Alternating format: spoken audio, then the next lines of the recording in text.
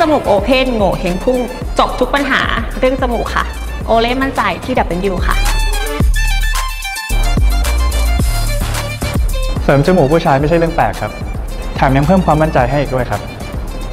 เสริมจมูกที่โรงพยาบาลศัลยกรรมตกแต่ง W ครับ ชอบมากดูสวยละมุนสไตล์ลูกคุณหนูสุดค่ะ สวยเป๊ะแบบไม่ต้องมาแต่งรูปพร้อมมาแก้จมูกที่โรงพยาบาลศัลยกรรมตกแต่ง W ค่ะ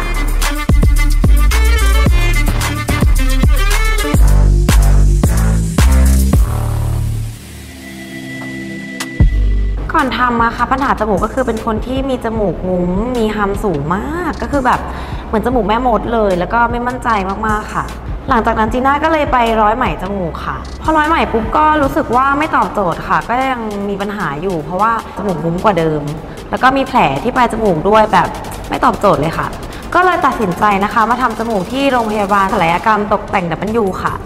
จีน่าทำเป็นเสริมจมูกแบบ open ค่ะ แล้วก็ปรับโครงสร้าง ยืดผนังกั้นจมูก แล้วก็จีน่าเนี่ยรองปลายด้วยกระดูกอ่อนหลังหูค่ะ ก็เลยเป็นปลายแบบไร้ซิลิโคนค่ะแฮปปี้สุดๆค่ะทุกวันนี้ก็คืองานเข้าเงินเข้ารัวๆเลยค่ะ เหมือนแบบเหมือนเปลี่ยนหัวเฮงแล้วก็รับทรัพย์สุดๆค่ะ ก่อนที่ผมจะเสริมจมูกเนี่ยปัญหาของผมก็คือจมูกสั้น แล้วก็ไม่มีมิติฮะซึ่งเมื่อก่อนเนี่ยเวลาผมไปออกงานไปถ่ายแบบไปทำงานเนี้ยก็รู้สึกไม่ค่อยมั่นใจ แล้วก็ทำงานยากครับผม ก็เลยตัดสินใจมาเสริมจมูกครับ ส่วนเทคนิคที่ผมใช้ในการเสริมจมูกนะฮะก็คือการเสริมจมูกแบบ open แล้วก็รองปลายด้วยกระดูกอ่อนหลังหูครับผม รู้สึกว่ามั่นใจครับผม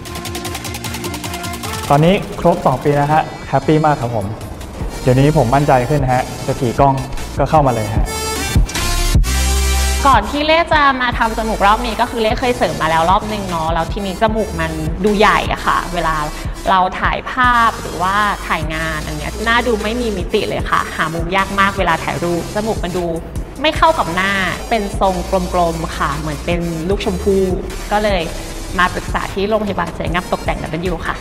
โอเล่แก้ไขโดยใช้เทคนิคการโอเพนค่ะ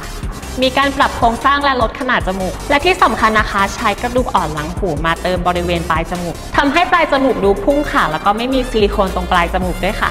และลดโอกาสการทะลุในอนาคตด้วยค่ะ หลังทำมาแล้วก็มีความมั่นใจมากยิ่งขึ้นค่ะ ไม่ว่าจะหันมุมไหนก็ได้ทุกมุมเลยค่ะ ตอนนี้ 2 ปีครึ่งแล้วค่ะจมูก ตั้งแต่ทำมาวันแรกจนถึงวันนี้ยังสวยเหมือนเดิมไม่มีปัญหาอะไรเลยค่ะ แก้จมูก open โหงวเฮ้งพุ่งจบทุกปัญหาเรื่องจมูกค่ะ โอเล่มั่นใจที่ W ค่ะ